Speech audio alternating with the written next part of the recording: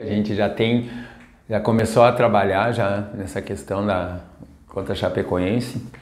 O clube fez um, um grande jogo lá contra a Chapecoense.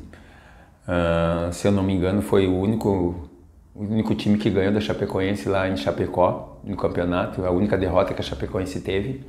Né?